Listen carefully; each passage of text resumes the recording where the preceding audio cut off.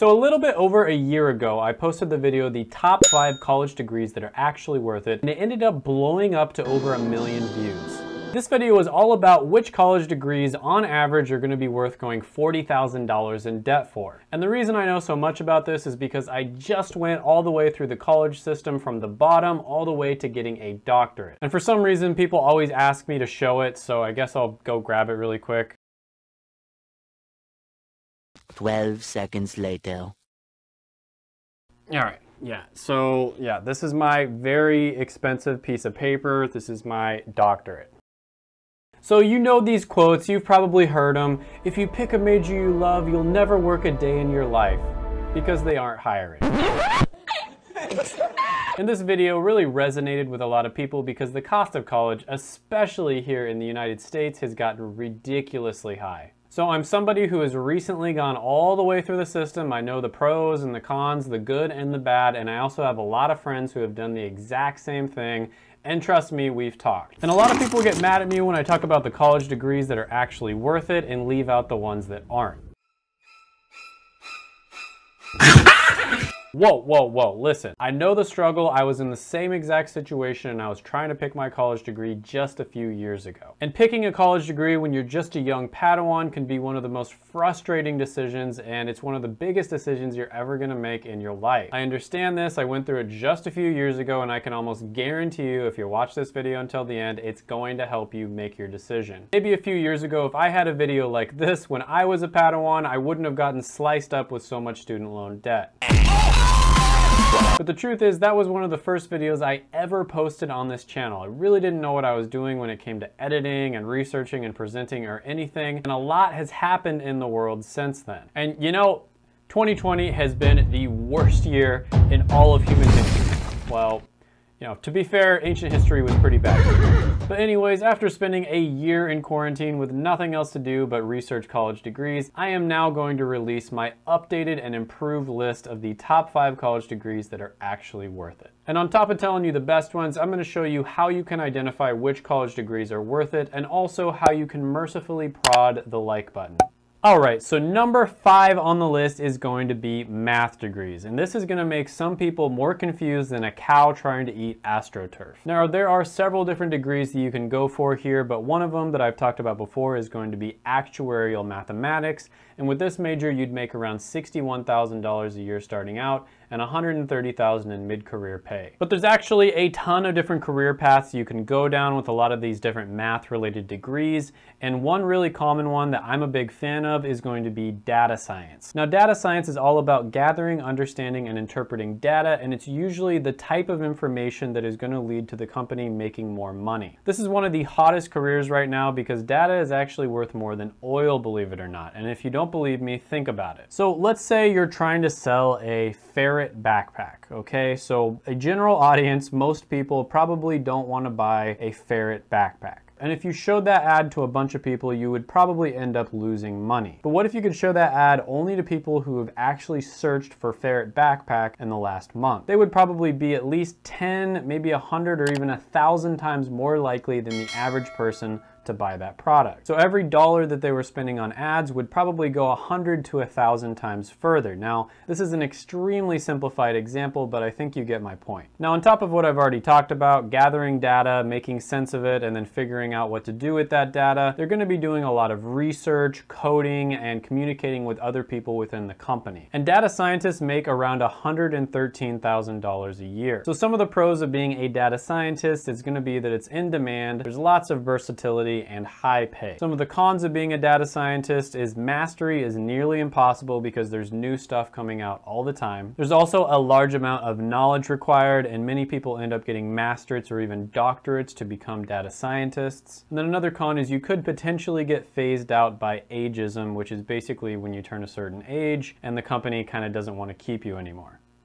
Number four on the list is going to be business. Now, one thing here is you're gonna see all these videos and all these posts on Facebook about college dropouts that, you know, dropped out of college or dropped out of Harvard and they ended up making billions like Mark Zuckerberg. And there's just one thing I wanna say about that. If Mark Zuckerberg never went to college, he would have never been able to steal the idea of Facebook from somebody else who was at Harvard. Just facts. No, but seriously, whenever you hear stories like this, they're basically just that stories. They're exceptions to the rule because if you look at the actual statistics, 80% of millionaires have college degrees, 90% of billionaires do, and 95% of Fortune 500 CEOs also have at least bachelor level degrees. Now, one degree I really like here is going to be management information systems. And with this one, you're gonna make around $61,000 a year starting out and 107,000 in mid-career pay. And of course, there's lots of different career paths you could go down, but one I really like is management consulting. So basically what you would do here is you'd spend a lot of time investigating a company and then you'd make suggestions to the CEO, the management, and the staff on how they can change the company with the processes, etc., to make it better. Now, a lot of the time you're gonna have senior, mid-level, and junior consultants, and they are going to work with their respective people in the company. So for instance, senior consultants are going to be working with executives, mid-level consultants are gonna be working with mid-level management, and then your junior consultants will be working with lower level management.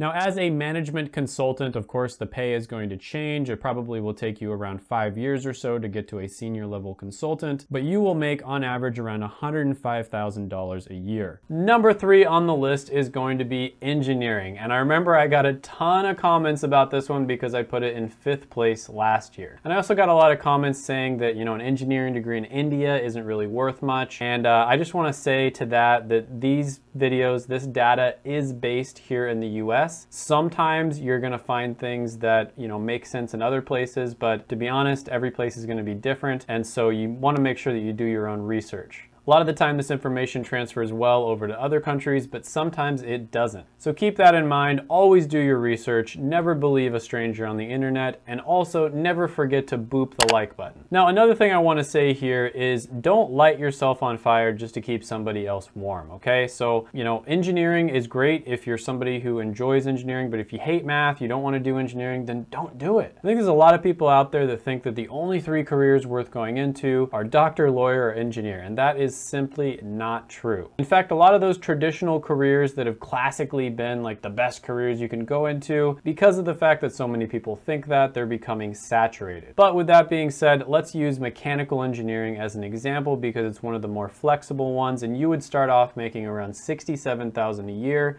and 111,000 in mid-career pay. Now there are a lot of engineering degrees that pay more than that, but mechanical is one of the most flexible ones, so you have a ton of different options in different areas that you can work. One career path you might go down is becoming a hardware engineer, and they make around $89,000 a year. Now overall, in my opinion, I think that engineering is a little bit overrated. Now that doesn't mean that it's not good. Engineering degrees are still very good. It's just that people think that engineering is a lot better than it actually is. One thing you need to be prepared for if you get an engineering degree is the fact that you will likely not work in the field of the engineering degree that you got. So for instance, if you got a mechanical engineering degree, you're probably not gonna work as a mechanical engineer. Now that's not necessarily a bad thing, especially if you're prepared to work in a different career, but I think a lot of of people go into engineering thinking that if they get an electrical engineering degree, they're going to work as an electrical engineer and most of the time it doesn't turn out that way. On top of that, engineering is ridiculously hard. I lived in a scholarship hall that had 50 guys in it, and I'd say like maybe five of them were engineers, and they basically just studied all the time. And these guys were really smart, like it didn't matter. They had to study all the time while everybody else was basically having a good time. So keep that in mind if you go into an engineering degree, it is going to be very challenging. Next on the list, we have my personal favorite because I chose this one, which is health health degrees. Now I gotta be fair, I might be a little bit biased here. I'm very passionate about healthcare. I became a pharmacist myself, but I'm gonna try to keep my biases out of this. So one career path you might go down is becoming a physician assistant. And this is one of my favorites you could possibly go down and they make around $108,000 a year. Now keep in mind when it comes to healthcare related degrees, they're a little bit weird. So usually it's not like two years, four years, six years, eight years, like other types of degrees. A lot of the time it's gonna be one one year, three years, two and a half years, four and a half years, just weird intervals like that. So for instance, I was able to get a doctorate in about five years and 10 months. Now this could be completely different depending on what school you go to and all kinds of other different factors, but a PA degree or physician assistant degree is gonna take around six years. And PAs are basically like mini doctors. You can do many of the same things that physicians do, like prescribing and diagnosing,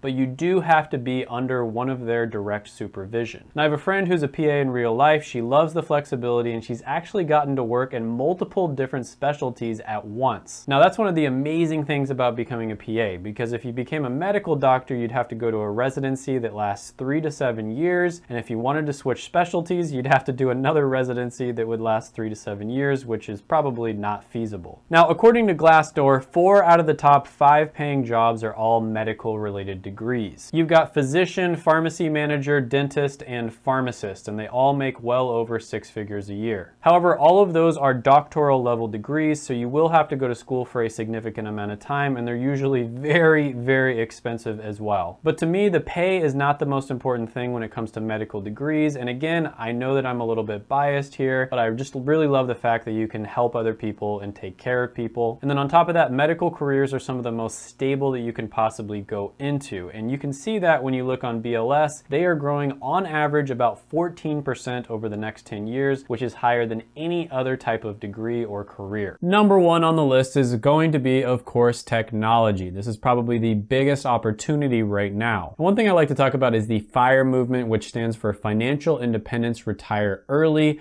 And this is basically a, you know, little subreddit of people, actually not so little anymore, but basically they try to figure out ways that they can retire early. And one thing I found when I was investigating this is a lot of the people that are involved in the FIRE movement are in the technology industry. And the reason for that is because they get paid so well. Sometimes I get comments on this channel saying I'm all about the money and I'm only concerned with finances, and that could not be further from the truth. The truth is I grew up in Section 8 housing and trailer parks, and the reason I got so passionate about personal finance is not because I'm all about the money, it's because I'm all about freedom. For me, it's all about having the freedom to live life the way I want to, live the life I've always dreamed of. It's never been about buying fancy cars or buying a mansion or anything like that. And that's why it makes me so happy that I have this channel to talk about personal finance and share what I've learned with people. And if I can even help one person, then it's all been worth it. But if you look at the top 10 jobs from last year on glassdoor.com, when all rankings are considered from job satisfaction to pay, etc.,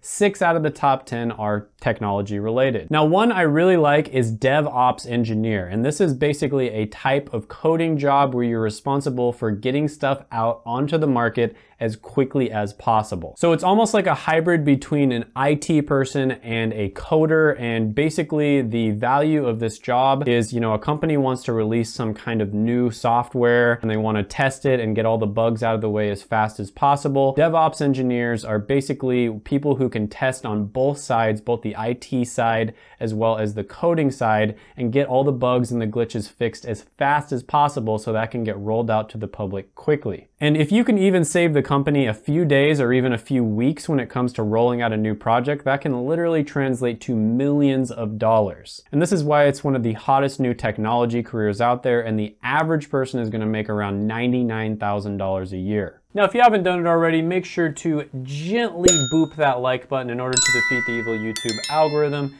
hit the subscribe button, ring the notification bell, and comment down below any thoughts, comments, criticisms, etc. that you have on the video. I'm especially curious to hear from people who have gotten degrees and they're either happy or unhappy from those. Whatever you do, make sure to not click out of the video. Check out my other videos right here. I made them just for you.